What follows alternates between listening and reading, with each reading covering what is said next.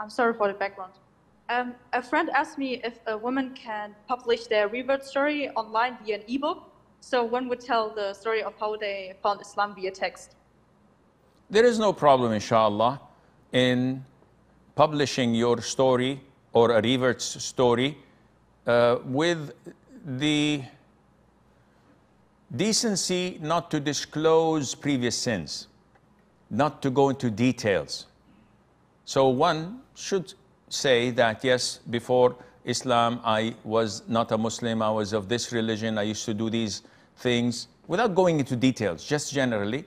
And then Allah guided me to Islam through person XYZ or through this event or a death of a relative. I read the Quran, Allah Azza wa guided me. There is no problem in that. Many of the companions did so.